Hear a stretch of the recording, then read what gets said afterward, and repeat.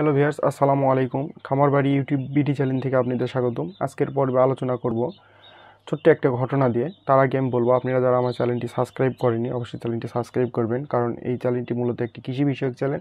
এখানে আধুনিক ও যুগ উপযোগী কৃষি বিষয়ক সকল বিষয় সম্পর্কে আলোচনা করা হয়। তো ভিয়ার্স আমি ছোট্ট একটা গল্প বলব। আমাদের পূর্বপুরুষরা যে ভুল করছিল, সেই ভুল থেকে আমরা শিক্ষা না নিয়ে সেই ভুলটি আবারও করতেছি। আর সেই ভুলটি হচ্ছে, ইংরেজরা আমাদের পূর্বপুরুষদের এক সময় তারা তাদের যে চা, এটা ফিরি ফিরি খাওয়াতো এবং তাদের থেকে চাষ করে নিত।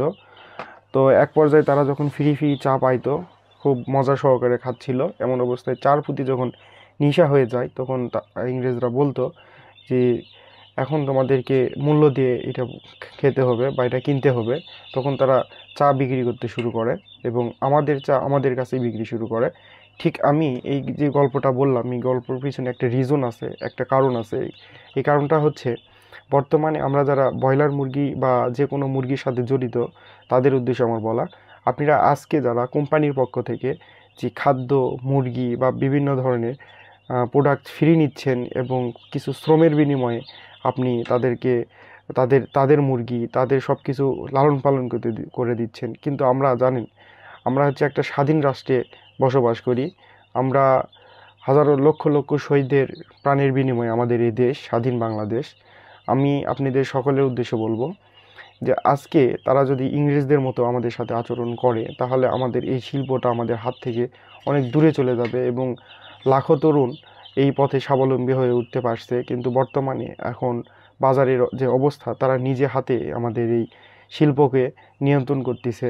প্লাস সবার জন্য এটা একটা সম্ভাবনাময় খাত হলেও কিছু কিছু ব্যক্তির জন্য এটা খুব কষ্টের। আমি একজন ছোট্ট ক্ষুদ্র খামারি। আমি পড়াশোনা শেষ করে আমি বিজনেসের পাশাপাশি আমি খামার করার পরিকল্পনা করি এবং আমি একজন খামারি। দীর্ঘ পাঁচ বছর হচ্ছে এই ব্রয়লার শিল্প বা পোলট্রি শিল্পর সাথে আমি যুক্ত।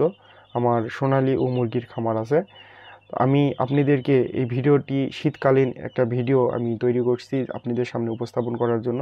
কীভাবে ব্রয়লার মুরগি লালন পালন করতে হয় এক থেকে তিরিশ দিন পর্যন্ত প্রতিনিয়তই একটু একটু করে ভিডিও আপনাদের সামনে তুলে ধরার চেষ্টা করব এবং যুগ উপযোগী যে ট্রিটমেন্ট ব্যবস্থা এবং কীভাবে মুরগিতে লাভবান হওয়া যায়, আপনি আত্মবিশ্বাসী হতে পারেন, ঠিক সেই উদ্দেশ্যই আমার এই ভিডিওটি। আপনারা যদি আমার ভিডিও দেখে একটু, একটুখানি উপকৃত হন তাহলে আমি সার্থক।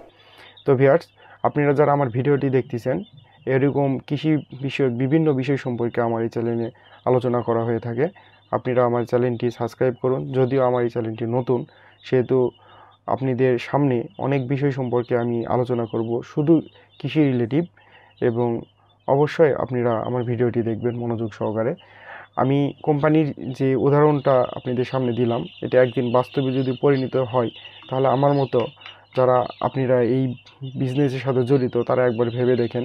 হয়তো কিছু সময়ের জন্য আপনাদের আপনাদের পরিশ্রম কেনার মতো শক্তি এই পৃথিবীতে কারও নাই। আপনারা নিজে শ্রম দিয়ে যদি কিছু করতে পারেন, কারও উপর নির্ভরশীল না হয়ে, তাহলে একদিন সাকসেস অর্জন করবেই ইনশাল্লাহ আমি আপনাদের সবার সুস্বাস্থ্য ও দীর্ঘায়ু কামনা করি। আপনারা সুন্দর থাকুন, ভালো থাকুন, আপনাদের খামার ভালো থাকুক। এই প্রত্যাশায় সবার কাছ থেকে বিদায় নিচ্ছি। আল্লাহ হাফেজ।